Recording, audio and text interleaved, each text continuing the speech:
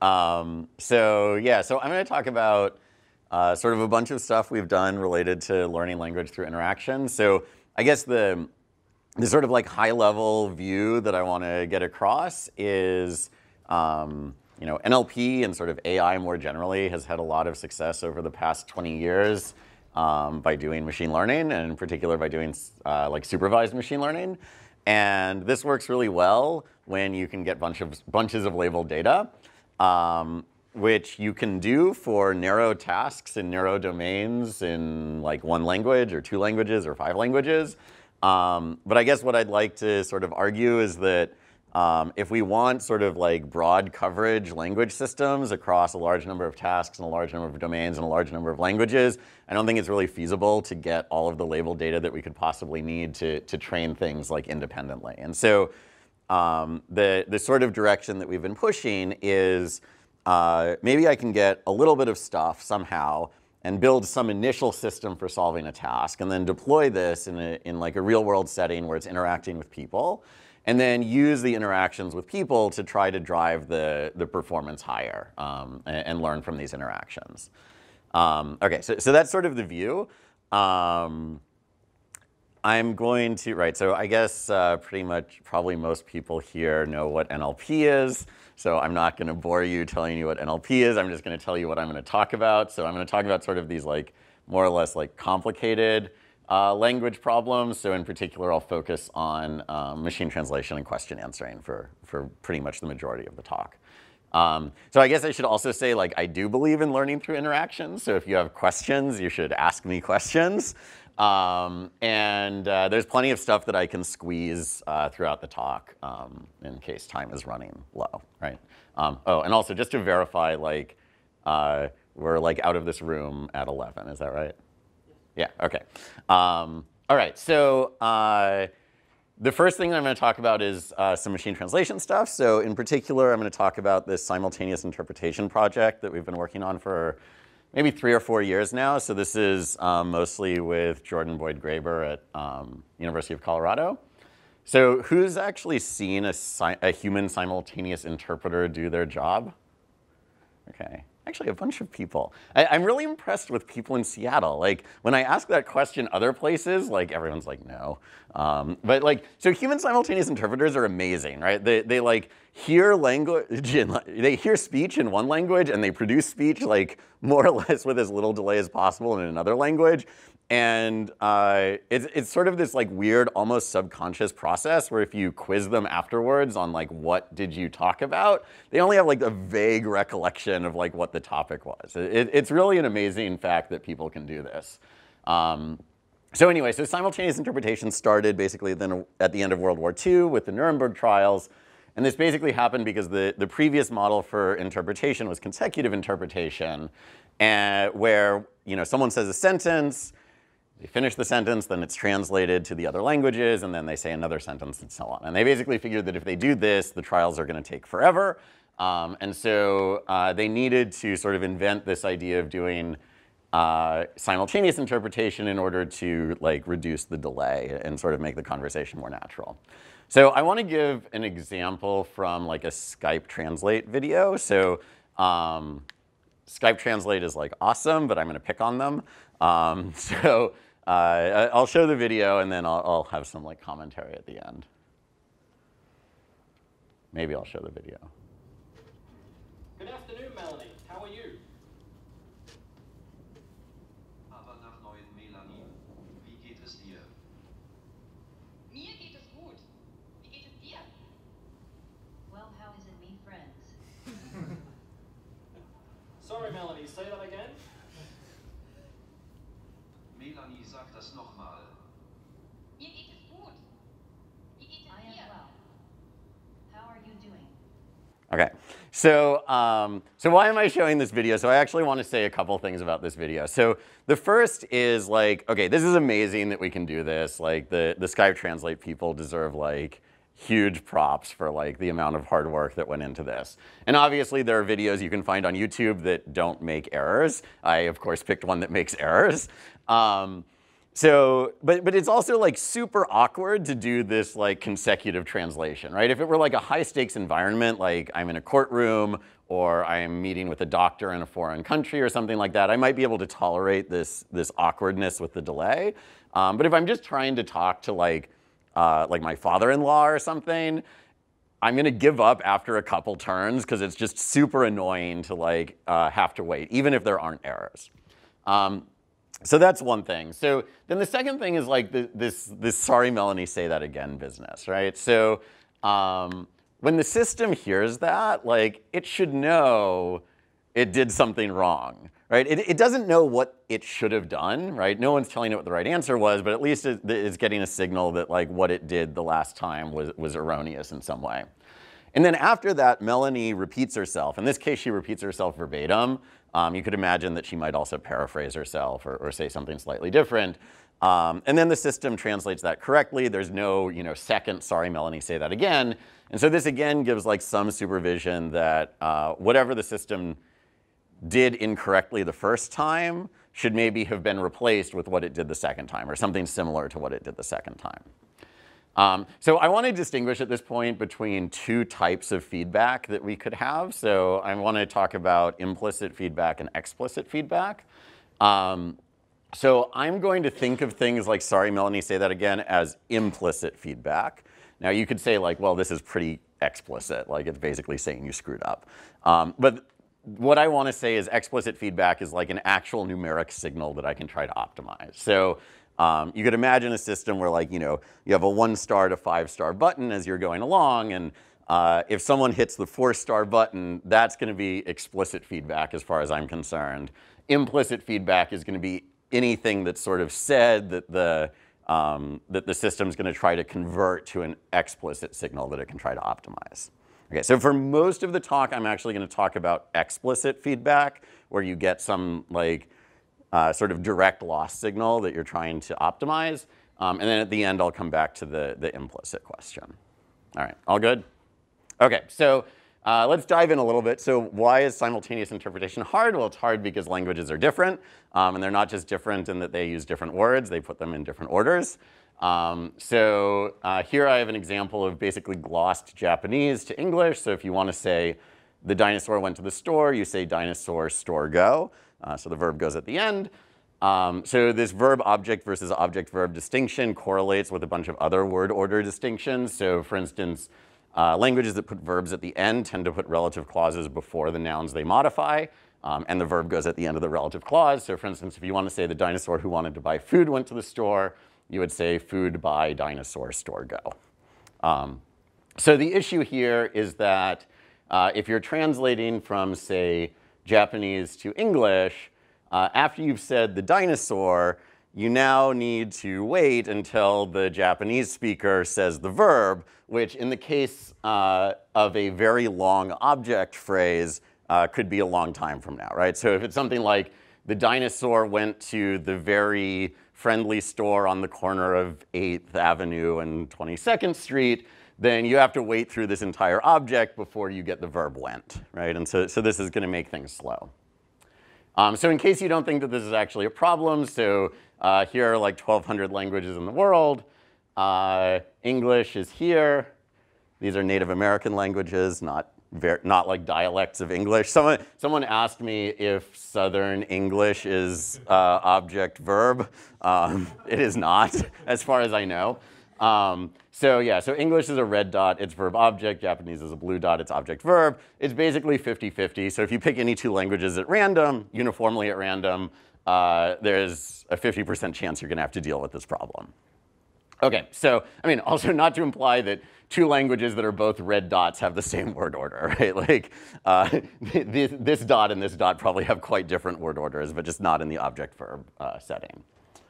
Okay, so uh, I have like one slide on how does normal machine translation work, and I'm gonna do this because I'm gonna use this as a black box. Um, and so I just wanna like say quickly what goes on, right? So if I wanna do normal uh, non-simultaneous translation, what I typically do is I get a bunch of text. So the most classic example is the Canadian Hansard, which is published in French and English. I break it into aligned sentence pairs. I learn some sort of statistical model to map between the source language and the target language. And then when I get a new sentence, say in French, that I want to translate, I apply the statistical model. So um, for the first, the sort of early experiments that I'll show in this talk, the statistical model is going to be a phrase-based machine translation system. In the later experiments that I'll talk about in the talk, the uh, statistical model will be a neural machine translation system. But it really doesn't matter. Um, all that matters is I have some like off-the-shelf uh, MT system. And I'm basically going to try to develop a model that can take this non-simultaneous thing and turn it into a simultaneous thing. Okay, so um, one of the things that we did when we first started this was we wanted to understand how does interpreted speech differ from normal translations. Um, so here's the experiment. So we got a bunch of TED Talks in Japanese we had uh, an interpreter interpret them into English. So in this case, the interpreter said the phrase number one only is accepted and phrases two, three, four were not accepted. Uh, and then after the fact, we took transcripts of the TED Talk and we gave it to human translators and asked the translators to just translate this. And they're free to do whatever reordering they want. And so in this case, the batch translator said something like they might recognize expression one, but not expression two to four. So this is obviously much more fluent, right? Like I'm sure everyone in this room prefers that translation to that translation. Um, but the thing that's uh, sort of important that's going on is that the verb recognize on the Japanese side comes much later. And so the interpreter is sort of forced to say all this other stuff before they say, um, I mean, they say accepted rather than recognize, but it's basically the same in this context. Okay, so uh, we did sort of like a corpus analysis of what goes on here. Um, and these are the most common things that you see. So um, you see a bunch of uh, so the interpreters do a bunch of things related to trying to move words around. So uh, the two most common are either segmentation into multiple sentences, so a single Japanese sentence to like two or three English sentences, um, and then lots of passivization, which is probably the first thing you would think of. Like if you are speaking English and you want to move the verb somewhere else, like you're going to passivize the sentence. Um, they also do a bunch of word generalizations. So like if I'm translating into uh, French, which I don't speak very well, um, and someone says like sea bass, I might be like, oh, I don't remember how to say sea bass. Um, and so uh, because the interpreters are under this like really strong time pressure, they'll often just say fish um, and hope that in the context it doesn't matter. Um, and then of course they also just drop lots of stuff. So um, one of the things that surprised me talking to interpreters is I always thought that the reason that interpreters try to keep pace with the speaker is to make the conversation more natural. But all of the interpreters we talk to, um, they actually say that they try to delay as much as possible, but at some point their short-term memory starts failing, and if they don't get the words out, they'll just forget them and drop them entirely. So humans are operating under this like, these two strong um, like retrieval constraints and short-term memory constraints that obviously systems don't have, right? Like your system's not gonna be like, oh, you said that five words ago, I forgot. Um, and so I think for this reason, this is one of these problems where we can actually do better than people. Um, I mean, we can't do better than people today and probably not tomorrow, but I think that uh, you know, machines don't have a lot of the constraints that people do. And so I, I think this is something where we can do really, really well. Okay, so here are a couple more examples. So uh, here's a Japanese sentence. Um, I'm not going to read the whole thing, but uh, you see some word generalization. So the batch translation produces honorific, which is basically correct, um, whereas the interpreter says polite, uh, which is some sort of a hypernym. Uh, the interpreter segments this into two sentences, and they replace adequately with enough. Um, so there's one example. So here's another example. So here, the batch translator says its third characteristic is that its output is as much as possible in the natural language of spoken Japanese. The interpreter says in the third feature, so that's a word generalization, is that the translation could be produced in a very, so that's sort of a summarization of as much as possible, natural spoken language, and then the interpreter doesn't even say Japanese at all. Um, and Japanese does appear on the Japanese side, so it's not like the batch translator is just making that up. Um, Okay, so th these are a couple of examples of what happens. And so what we're going to try to do is basically build a model that can um, uh, use some of the same tricks that human interpreters have to try to get ahead of, um, of the speaker so that they can keep pace. Um, so this is now one of those sort of awkwardness of, uh, so, so in case you haven't noticed, I have like references in case you want to look at papers. So this is now kind of strange because this corpus analysis is 2016 and then our model that tries to replicate this is 2014 and that's because uh, ACL doesn't always like to accept analysis papers, and so this paper took quite a while to get in. Um, and the model, you know, people were like, ooh, model, um, I'm gonna accept that. So, uh, so this actually appeared earlier, although it, it really came later in terms of uh, when we did the work. Um, okay, so we're gonna try to model what like a, a human interpreter would do. And so uh, they're gonna be listening to the input stream, uh, and at each point in time, which basically means after every word, they have a bunch of options, so they can choose to wait. So this means just hear another word. Um, they can try to guess what the next verb is going to be. Uh-oh. Okay, so they can try to guess what the next verb is going to be. So this is something that human interpreters do a lot. So if I get a sentence in Japanese like yesterday I Tokyo to flew, if we're talking about like travel already and I say yesterday I Tokyo, you as an interpreter might guess that I'm gonna be talking about traveling to Tokyo. And so you're just gonna say like, yesterday I went to Tokyo. And then you're gonna hear the speaker say flew, and you're gonna be like, by plane, right? So this is an example of like, I'm gonna pick sort of a vague verb, and then I'm gonna try to correct it later. Um, so one of our interpreters, he has like, he does a lot of business interpretation, and his favorite verb is promote. So pretty much anything can be promoted. And like when you finally hear what the verb is, you can almost always like massage promote into like whatever it is that you need it to be. Um, not in a biomedical context, there promote actually means something. Um, but in a business context, promote is like an awesome verb to use. Um, okay, so we can try to predict the next verb. We can just try to predict the next word to get like one word ahead. Um, we can commit, so this basically means speak. Okay, so now sort of full disclosure, so we're not actually doing speech. I don't know anything about speech. Um, so we're working off of transcripts, um, and the transcripts are human transcripts, so there's not like uh, ASR noise. Um, so obviously things get harder once you add um, the noise that you get from speech recognition. Okay, so we have a changing environment. So the environment is basically the words we've seen so far, and our model's internal predictions about what the next verb is gonna be, stuff like that. Um, and we have data from human interpreters uh, where we can essentially reverse engineer what did the human interpreter do. So the, this data is like time stamped, and so we can look at like when did the interpreter wait and when did the interpreter predict and, and blah, blah, blah. Um, so this is a pain, but you can do it. Um, and so we can basically transform our interpretation data into uh, like an expert sequence of actions of what you should do at each point in time. Okay, so now we need to train a model to predict actions given state. Um, so I'm gonna eventually like complicate this, but I'm gonna start with uh, kind of the simplest, oh, sorry. I'm not gonna do the algorithm, I'm gonna do an example.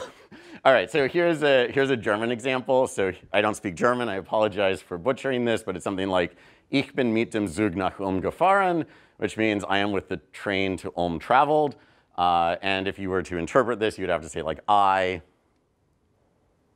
traveled by train to Ulm, right? So um, so the system at some point will have heard, for instance, mit dem Zug. It's going to guess that the final verb is gewesen, which I think means have, German speakers.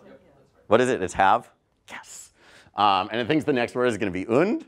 Uh, this is wrong, so we hope that it waits. Uh, so now it hears a little bit more, and it thinks the final verb is going to be that word, which I'm not going to say. Uh, and uh, the next word is going to be nur. This again is wrong, so you hope it waits. So now it hears a bunch more. Um, so now it's basically heard I am with the train. It thinks that the, the verb is going to be gefahren, which is correct. Um, it thinks the next word is Ulm, or sorry, is Berlin, which is like a reasonable guess, but it's wrong. Um, so in this case, what we want it to do is we want it to predict the final verb. So it's basically going to tack this final verb onto the end of what it's actually heard, and then run this through whatever our off-the-shelf machine translation system is. This is going to produce some output, like I traveled by train. Um, and so we're now going to say I traveled by train. Um, so now at this point, we still think the next word is going to be Berlin, which is wrong, so we want to wait. Um, so now we hear uh, to Ulm, so now we produce to Ulm. Uh, and then at the end, we decide that we've, we're done and we've translated everything. All right, so this sequence of actions is the type of action sequence that we're trying to learn to, to mimic. Okay, so uh, how are we going to do this? So initially, we're going to use this algorithm called Dagger, which is like my favorite algorithm. Um, if you ever heard me give a talk, I've probably talked about Dagger, and I've probably used this slide because I love this slide. So um, I'm going to switch from talking about interpretation to driving a car because it's an easier thing to draw sort of pictorially. Um, so what am I going to do? So I'm going to get an expert driver. I'm going to put them in the car. The expert driver I'm going to call pi star. The uh, expert is going to drive the car, and I'm going to collect a bunch of state action pairs from uh, the expert's trajectory. So for every state visited by the expert, I'm going to generate a labeled example where the input is the state and the output is the action taken by the expert at that state. Um, so this is basically a labeled data set of state action pairs. And I can take whatever my favorite off-the-shelf classifier is and train a classifier, which I'll call pi1, on this data set. Um, so the problem with pi1 is that it's only been trained on states that the expert visited. So if it ever gets off path, uh, it's going to kind of throw up its hands and be like, I have no idea what to do. Or in the worst case, that's going to happen. So what do I want to do? So I want to basically try to train pi1 to recover from its own errors. Uh, so how am I going to do that? Well, I'm going to put the expert back in the car, and I'm going to let pi1 drive the car. Uh, and the expert is going to be like trying to steer the car back onto the road, uh, but the car is going to completely ignore what the expert is doing, which is like terrifying for the expert. Um, but it, I'm going to end up collecting states from pi1's trajectory, but actions according to how the expert is trying to recover from whatever errors pi1 is making. Okay, so sorry, give me one second, then I'll answer. So this gives me a new data set. And then I'm going to take the union of that data set and the previous one and learn a new classifier. Okay, yeah, question. Won't the expert kind of overcorrect when he or she sees that nothing is happening? Yeah, probably.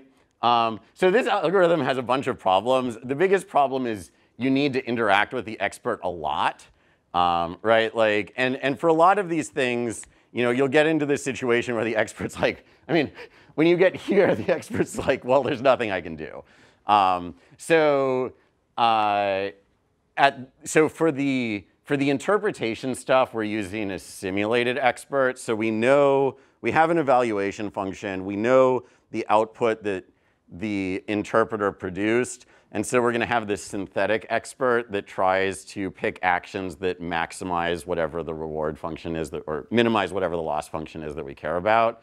So we're not actually going to like put an interpreter in the car. It'd be very hard to do this for like real interpreters anyway. Like you can't tell an interpreter like pretend that you had said these five words. Like how would you continue your interpretation, right? Like like no interpreter is going to be able to do that. Um, so eventually, I'm going to massively reduce the amount of interaction we need with the person. Um, but this is what we had in, in 2014, and so um, this is what we did then. Yeah. Is this kind of similar to when, when people take a model, uh, tra uh, train a model on a data set, and then to make the model much better, they'll run it on a new data set and get more hard positives and hard negatives? Uh, sort of like self-training like things. Is it basically just trying to get harder data points to aggregate? Or it different kind of? I think it's sort of different. I mean, the, the main goal here is you want, like, I want to train my policy on states that it itself visits. So it's, it's more of an issue of the data distribution than of something else, right? There's, there's the expert data distribution, which is maybe too good. And so I want to train my thing on sort of this less good data distribution that's actually realistic for what I might see at test time. Um, so I, I think that's sort of the right intuition. Okay, so these things are subscripted with numbers, and there's more space on the slide, which means there's more to come. So what do I do next? So now I have pi2. I let pi2 drive. The expert's still in the car. I collect a new data set. I take the union of everything I've seen so far. I train a new model, and I do this a bunch of times. Um, and so there's this nice result that basically says, like, if these trajectories are, are length t, and uh, you iterate this like roughly t log t times, um, you'll learn something that's, uh, that has low regret to the expert. So it'll be about as good as the expert as you can represent with your hypothesis class. Um, so there's some theory, um, which I won't talk about. Okay, so um, in our settings, remember the actions are like commit, predict, or wait. Um, and the features of the state are things like um, what are our internal predictors, like the final verb predictor predicting, and what are their confidence levels. We have some translation model scores and language model scores from our, our black box translator. And then we have previous decisions made by the policy, right? So have I been waiting for a long time? Um, okay, so how are we going to measure success? So um, measurement of success depends on two things, right? So one thing is what's the quality of the translation produced? And then the other thing is how much delay was there um, in the production of the translation. So in interpretation studies, this is often called ear-voice span, so how long between when I hear a word and I, I speak the translation. So the way that we're going to evaluate is, is kind of weird, but um, we're going to take an off-the-shelf machine translation evaluation metric, so in this case it's BLEU, and we're going to compute the BLEU score after one word, and then after two words, and then after three words, and after four words, and then at the end at the entire sentence. And so hopefully this is going up. Um, and so then uh, our final evaluation score is going to be the area under this curve. Okay, so why is this the right, or why is this a reasonable thing to do? Well, if you like manage to magically guess the entire sentence after hearing one word, then you get like perfect BLEU for like all of time and the area under the curve will be high. If you wait until the end, you're gonna get zero, zero, zero, zero, zero, and then you'll get a good translation at the end. Okay, so that's the evaluation metric. Um, I will say, if you work on this problem, do not use this evaluation metric. It is gameable, and I'm kind of sad that the learning system did not learn to game it. Um, but uh, if you want to know why, it, it's kind of it has to do with the brevity penalty and stuff like that. It, it wasn't obvious at the time. We figured out about six months later that you can game it. Okay, so um, so the x-axis here is uh, is this score. Um, so so what are the different bars? So the red bar is a batch system that waits until the end of the sentence and then translates the full sentence. So it's very high quality but very delayed. Um, the blue bar is, the is a monotone translation system that just hears a word translates, hears a word translates. So it's very simultaneous but low quality. Um, the green bar is people, uh, so they're very good. Uh, and then the purple bar is us, so we fall somewhere between the stupid things and the awesome thing, uh, which I guess is what you would hope to see. Yeah. Uh, what's your gold standard? Is it the batch translation or the? In this case, it's the the human the interpretation, the human interpreter. So you're comparing the the green bar is comparing uh, different interpreters. Yeah. And there's a lot of variance between interpreters. Uh, it also matters a lot how much experience they have. Um, so, so this is comparing two interpreters, both of whom have about 10 years of interpreting experience, which is, they're very good. So the examples I showed are from this green bar. Yeah? Uh, when you take an interpreter who is at that level, how good are they relative to here is a taking the same interpreter, here's a piece of text in the original language and translating yourself? Basically, the, the real-time aspect, how much does that degrade the quality of the translation? Um, so if you only, if you don't care about simultaneity, I mean, it, it, degrades quite a bit. I mean, I would, like those examples I showed you before, right? Like, I, I think you, if I, if I didn't show you which was batch and which was interpreted and I asked you which one was which, like you would get it right every time. It, it's very obvious which one's uh, the interpreter. Um, if you, I, so one of the things that's interesting about interpreters is that it's very rare that they go into an interpretation job sort of carte blanche. So like, you know, I will know that I'm interpreting for like Hal's talk on simultaneous interpretation, and I will ask Hal for lots of reading material um, so I can go get um, like translations of technical terms and like I'll roughly know what's going to be talked about. Um, so if you, and th that was the case for this interpreter. So we tell them the vague topic of the TED Talks that they're interpreting and so on. Um, the, if you don't do that, the interpretation quality is much, much lower. Yeah? Is this example for a language pair that's the same order or different No, right, I should have put that on the slide. So this is Japanese English, um, which is a very hard case. If you just compare the quality of the red one and the purple one, not the speed. Yeah, uh, red one is much better. Um, so actually, let me show you the, the next picture. So this says a little bit more about what's going on. So on the x-axis, we have how much of the sentence has been heard at this point. And on the y-axis, we have the cumulative score, like the area under the curve, up until that point. Um, so the red, the batch system, right, it has zero until the end, and then it does well. Um, the interesting comparison here is blue versus purple, right? So blue is very aggressive, whereas purple can learn to be a little bit more conservative. Um, and so what happens is initially the monotone system is ahead because it's not as conservative. Um, but then at the end, uh, oh, I just realized I lied about something. Sorry, the, re these results are German, not Japanese. Um, so this is German English. Uh, so the, the monotone system is ahead until the end when they flip, and this is basically because the monotone system has sort of committed to wrong stuff that it can't repair, whereas the, the conservatism of the, the purple system allows it to produce like an overall better translation. Um, the fact that the flip happens just at the end is largely due to the fact that this is German English and the main word order difference between German and English is sometimes German puts the verb at the end, but otherwise the word order is like pretty similar. So the fact that the inversion happens at the end, I think, is, is largely because this is German. Um, yeah, okay. Questions about this? So it seems to me that uh, designing a synthetic expert that corrects is non, is a non, it's not a trivial. Uh, you mean like this example of like I went to Tokyo by plane? Or a case where they actually make an explicit correction? After making a mistake, uh, how would you, how do you decide what uh, an expert would do in that? Yeah. So experts do make mistakes. It's pretty rare. They're very, very encouraged not to make mistakes. I, guess that's obvious, but you will occasionally hear interpreters say things like blah, blah, blah, blah, blah, sorry, I meant blah, blah, blah, blah, blah. Um, right now, I mean, we don't capture this really at all because of the way we're evaluating. Um, yeah, so the, the evaluation measure that we're using, I mean, the, the chance that our sort of synthetic expert would actually produce something like that is basically zero. Um, so, so we basically don't model corrections.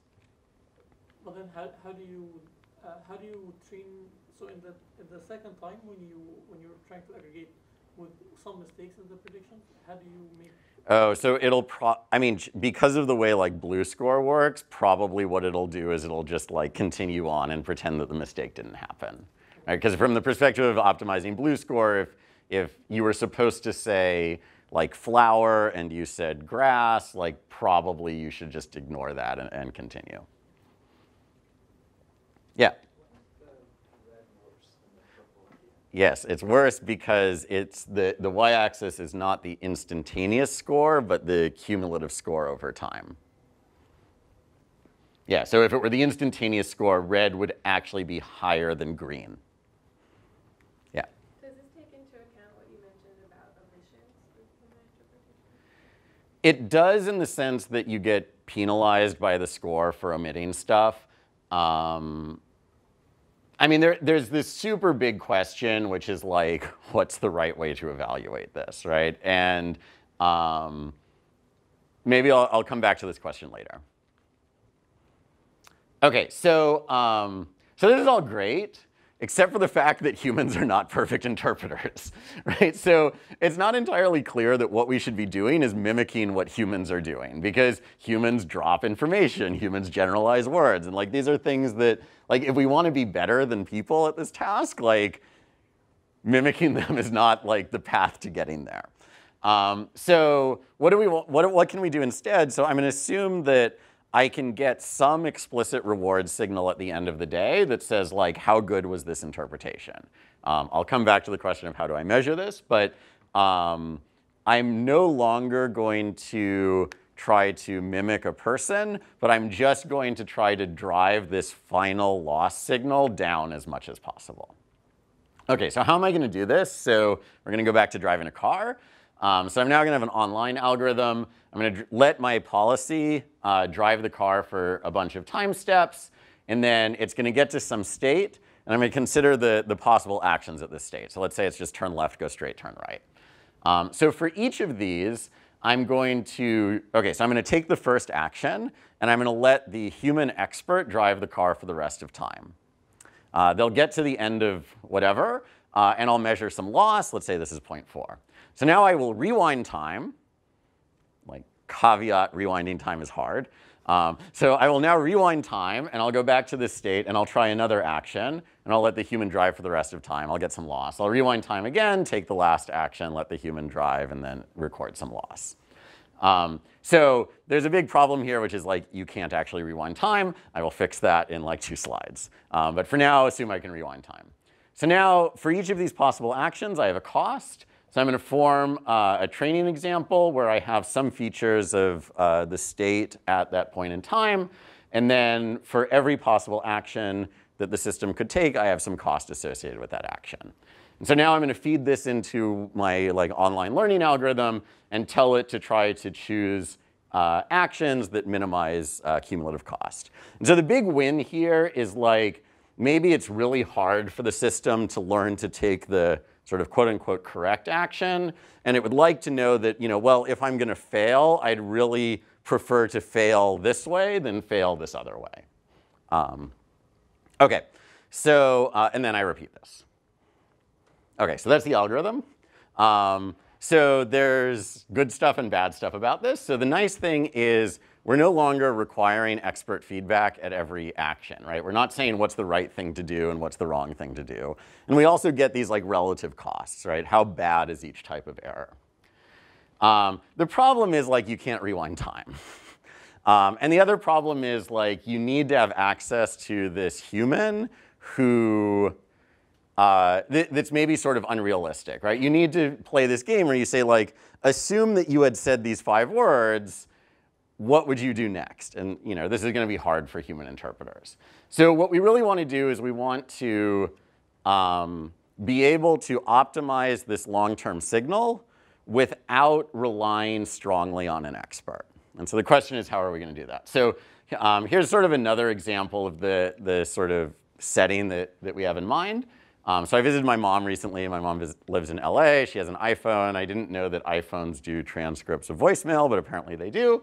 Um, so uh, she got a voicemail from me as I was driving home. And I said, something, me, I are on PCH and have fun, be there in about hopefully less than a half hour, funny minutes. I think that's supposed to be 40 minutes uh, or so. Anyway, see you soon, love you, bye.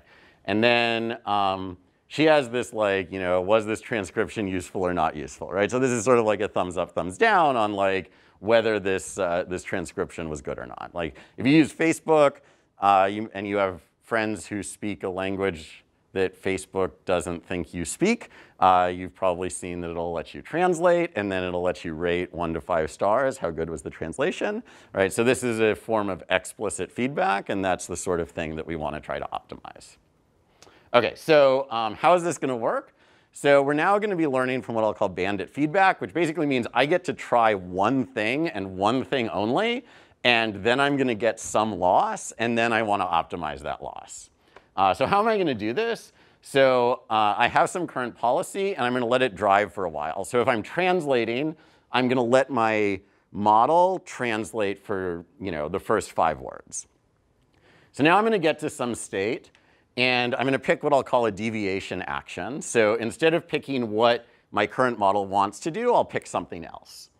Um, so now, after I've picked this other thing, I'm going to let my baseline system drive for the rest of time. So I'm not going to have an expert drive. I'm going to have some like off-the-shelf crummy system drive. Okay, so there's no expert at this at any point, right? So it's my learned system drives for a while, I deviate, and then I let my baseline system drive. So this gives me some uh, final cost. Um, so now the question is like, well, what if I had taken these other actions? Um, and so what I'm going to do is for every action that I didn't take, I'm going to have a little regression model sitting under the hood that tries to guess if I had taken that action, what would the, what would the cost have been? And so this allows me to formulate the same sort of cost vector that I had in the previous example, where one of the costs is the actual observed cost, and the other costs are um, these hallucinated costs. What is the space of possible actions? Uh, well, so in this case, I'm assuming that it's, it's left, right, straight. In the translation case, um, it would be, you know, sort of wait, predict, commit. What's different about this algorithm from like a, just a Monte Carlo rollout? Yeah, so, um, right, so then I'm gonna repeat. So this is just a straight up reinforcement learning algorithm, right? So it's a different reinforcement learning algorithm than, you know, sort of normal reinforcement learning, but it basically is just straight up reinforcement learning, right? So I have some long-term reward I'm trying to optimize. I'm gonna try some trajectory. I'm gonna measure a, a loss, and then I have some way of, of updating. So in terms of like comparison to existing algorithms, so like structurally it's closest to actor critic like algorithms where this regressor is sort of playing the role of a critic um, and pi is sort of playing the role of an actor. Um, so we have some experiments um, which I'm hoping will get out for ACL um, on neural MT where it looks like it works better than like reinforce actor critic policy gradient stuff like that. Um, you can also prove something about this, and you basically can't prove squat about most of these other algorithms. Um, but it, it is just straight up RL in a sense. So the better your pi out, the better this algorithm is going to be. Right? Absolutely. And so can you add another layer on top of this which says that it's kind of like co-learning where you have two algorithms where you keep Yep. That works. It's a good idea. Why do you have separate pi out from your learning policy? Uh, because if I don't, I can't prove anything. If you, you could use the learned policy as pi out, and then I can't prove anything, but uh, it works fine. So the reason you can't prove anything is because um, you there are two things going on here, right? There's there's distribution drift in the sense that as I learn, the states that my policy visits change, and that's relatively easy to handle. There's so there's distribution shift on the input. If you allow pi out to change, there's also distribution shift on the loss, and it's really hard to do theory when p of y given x can change. Um, so that's technically why it's hard. Um, in practice, and I think the results I'll show you, we do the thing that you can't prove anything about, and it works better. Um, yeah. Okay, so um, all right, algorithm makes sense. I didn't tell you how to train the regression model. I'm not going to tell you. You can read our rejected AISTATS paper. Um, it's very sad. but uh, anyway, so um, okay, so here we have human feedback, which is thumbs up, thumbs down. Actually, in this case, we're using one star to five star. Um, but that's the only required supervision per entire input, right? We're not getting like per step feedback or something. Um, and the way we're evaluating it is sort of the online learning evaluation, where as you go along, you make predictions, you suffer some loss, and then you get the average loss. Uh, did the, how did the humans evaluate it? I mean, do they see, do they speak both languages? Yeah, okay, so the way that we're evaluating is in this, so this is totally simulated evaluation. So we have, we know what the ground truth is, and we measure similarity to ground truth according to whatever evaluation function you want. Um, It's not the same as Facebook you mentioned. Where it is not, I, we're, I, I have some things to say about that, but let me uh, delay that a little bit. Okay, so um, so now this is the point where I say like look over here, and and you know you're going to be very disappointed in me. So uh, we had so I said like we're hoping to have this paper for ACL on neural MT. We don't have that right now. So I the results I'm going to show you are um, like sort of more boring NLP tasks. Um, so I apologize for that. Um, so we're going to do sort of the standard litany of, NLP tasks, so like part of speech tagging, dependency parsing, syntactic chunking, stuff like that. So we start out with some reference policy, which is the crummy system that we're trying to improve. Um, so this is just a, a standard model trained on a small amount of data. Um, so it does kind of crummy, right? This is really bad part of speech accuracy um, and really bad dependency parsing accuracy. So then we had this paper at ICML 2015 where we proved a nice theorem, but never did any experiments. And then we decided to run some experiments. Turns out algorithm doesn't work at all. Um, so you run it um, over like uh, you know 20,000 sentences or whatever Penn Treebank is, and part of speech tagging accuracy drops to 2%. Um, so random guessing on this task is 13%. Um, so this is doing markedly worse than random guessing. Um, so the only difference between this algorithm and the one that I described before is it does not do the, um, the counterfactual estimation for the untaken actions. Um, and so the way that it forms the cost vector is for the action that was selected, we get the observed loss, we multiply that by the number of possible actions, and we say that's the cost there, and all the other costs are zero. And you might say, why would you do that? And I say, because if I take the expectation of that cost vector over a uniform random choice of action, the expectation works out to the correct thing. Um, so the expectation is right, but the variance is like ridiculous. It's like k squared, where k is the number of actions, um, and that just kills this algorithm. Um, so if we, uh, if we do the counterfactual estimation, the algorithm works.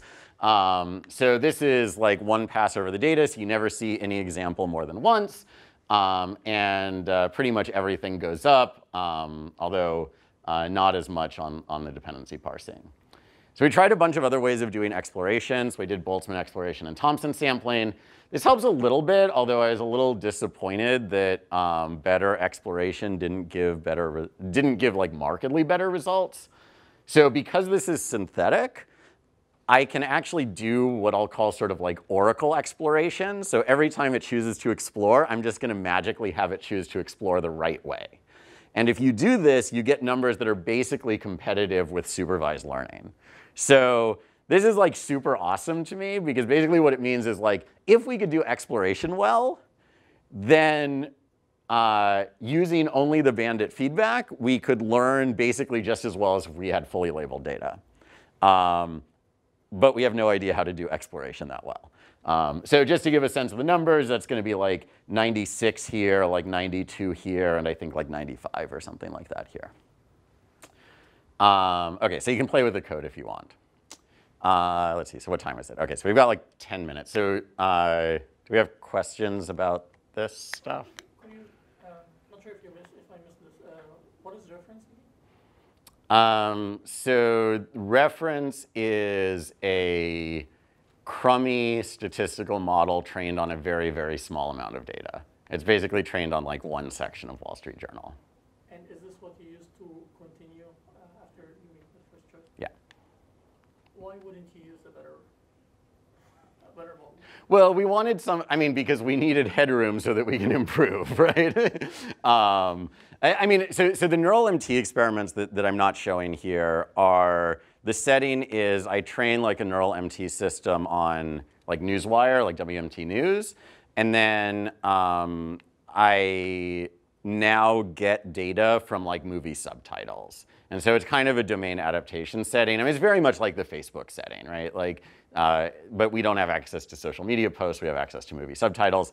Movie subtitles is also nice because it's enormous.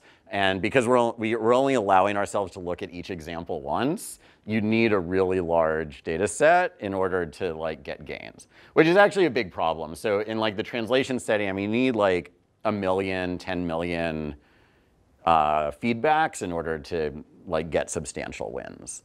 Yeah. So I'm, I'm trying to align what you just said, which makes a lot of sense, and that's how we do business, as it were, with uh, what you said in the beginning, which uh, is right. We need interaction and relatively unsupervised methods. So are you seeing this as kind of a a point along the way, or is this a little bit of dissonance? How do you think it? No, this is definitely a point along the way. I mean, we with with one exception, which I'm not talking about here, we haven't done anything with actual people. And the reason is basically because the sample complexity of these algorithms is still so high that you know, we would have to spend $5 million to, to get anywhere. And so um, with one exception, basically, uh, the game that we're playing now is, you know, how can I get the, the amount of interaction necessary down as low as possible. Um, and that in sort of this idealized simulated setting, and then and then move over to the more realistic setting. But, but isn't there potentially an argument that this is, you know, completely the wrong class of algorithms? Because as you say, you, you need to move down orders of magnitude. It's not like you're gonna optimize this by a factor of two and life will be good. Yeah. And I guess what it makes me think is getting feedback at, at the end is the RL paradigm, has this uh, tree-like structure that leads you to need a lot of data. Yep. Maybe you need to structure things so you get feedback uh, immediately, but a lot less of it because you're getting feedback on a segment rather than on a full path. Yeah. So so we've we've also I, I have zero results on this, but we've also played around with a version where like in the translation setting, the feedback you get is the user crosses out the worst part of the translation, right? And this, I mean, it's a little bit more onerous for the user, but it's like such better feedback, right? And, and, you know, so I don't have results to quote, but I could easily imagine that you need way less interaction, right? And then there becomes like this interesting interaction with, you know, like interface design and stuff like that on, you know, how do you actually structure this so that you get the sort of feedback that's useful. Um, so I, I think that, you know, I'd like to think that, you know, this you only get feedback at the end, you can learn something, but I think more realistically, um, that's too weak. Um, I, I, think you do need more. And then, and then there's like this huge design space of what's the right thing to do. So yeah, I, I think I agree with you. Yeah. So how, I guess, when we're thinking about this problem of uh, simultaneous interpretation, um, the, the approaches you talked about were sort of the supervised learning approach from uh, human simultaneous interpreters and then this kind of reinforcement learning approach. I mean, we have a lot of unlabeled data for these languages, right? So, so my thought would be that you could learn some sort of language model and then use that with kind of traditional machine translation techniques. Mhm. Can you speak to how those things relate? And Yeah, so I guess the closest thing we've done is the following. So, um, so I'm not going to use unlabeled data. I mean, in a sense, the neural MT uses unlabeled data a little bit because it has like offline word embeddings or whatever. But um, the so the, the closest thing we've done is like we have piles of batch translated data, which are really good from like a fluency adequacy perspective, but kind of crummy from a simultaneity perspective. And so uh, like let's say we're doing Japanese English. Um, so I have a giant Japanese English parallel corpus. So I'm going to parse the English side, and then I'm going to try a bunch of like syntactic reorderings on the English side that I know because of linguistics or whatever are like reasonable transformations, so passivization or genitive alternation and stuff like that. And I'm going to try to rewrite this thing so that it's as monotone with the Japanese as possible. Um, and then I'm going to retrain my, say, neural MT system on this new data, and hopefully it just learns to straight up be more simultaneous. Um, so this works. Um, the thing that's actually, so it's not, I guess it's not super surprising that this works when you measure quality of translation. Okay, so let's call this processed English like fudged English. Um, so if you measure the quality of the translation against a fudged test set, performance goes up. That's not super surprising. If you measure quality of translation even just against the original unfudged data set, like translation quality also goes up. And so this is sort of like this game that like neural nets people play with MNIST where they, you know, like rotate the digits a little bit and translate them and stretch them where you're doing um, uh, like sort of this data set augmentation. And, um, and basically that works here too. Um, as far as like straight up unlabeled data, we haven't really done anything. Yeah. What, like, once you said that you have like this huge amount of parallel language, so then one of the simplest things that one can try, I know it, it will not work, but that's a baseline that you have this uh, LSTM that see the both of them language, like you see the English word and then the Japanese word and then predict the next one based on that. So how does that work? I don't know. We should try it. Yeah, I think that's, it, do you think it's a, like a baseline that they I think so. I mean, people, there have been a couple of papers that try to do sort of like, I'll say quote unquote obvious um, modifications of like sort of you know BiLSTM style neural machine translation to do simultaneous interpretation. Um, I mean, the, the biggest problem, I mean, the problem with doing this in a neural setting is um, you can't, it, it's not differentiable because of the, the possibility of waiting. And so you basically have to like policy gradient it, or you have to find some hack around that. And so um, there are papers that have tried both, um, neither of which is super compelling. Um, but I, I can point you if you're interested. Okay, so I said I was going to talk about question answering. I'm not actually going to talk about question answering. Um, but anyway, there's questions and there are answers, and you can do reinforcement learning, and there's Q-learning, and there are neural networks, and there are more complicated neural networks, and performance goes up, and that's great. Um, okay, so uh, if you want to talk to me about deep Q learning, so, so really the message in the, the previous bit that I just skipped over is that um, if I'm in like an interactive question answering setting and I can try to learn something, I can basically try to personalize my question answering system to you. So, so this is like competitive QA, so like Jeopardy. So I might learn that you're really good at science questions, but not really good at literature questions. And so then I can be more aggressive on literature questions because I know you're not going to do as well. And so I can sort of explicitly model my opponent in my neural network and then do deep Q learning on that, and, and it makes things markedly better. Okay, so that's the story. Uh, that was an ICML paper last summer if you want to look it up. Um, okay, so this is joint work with tons and tons of people. So the stuff that I talked about um, that I did not skip over is mostly, oh, that doesn't work, is mostly Alvin and He.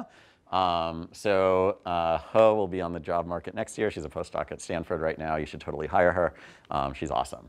Okay, so um, yeah, so let me just sort of wrap up. So um, the, the sort of like dominant paradigm that I'm trying to push is like, we have some existing system for solving a task that's kind of crummy, um, maybe because of domain adaptation issues, or maybe because I don't have enough labeled training data or something like that.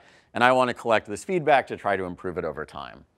Uh, so there's a couple big questions that I think are really interesting. So one is this offline acquired data question. So I said a little bit about this, right? So we have these two data sources, the batch translations and the human interpretations.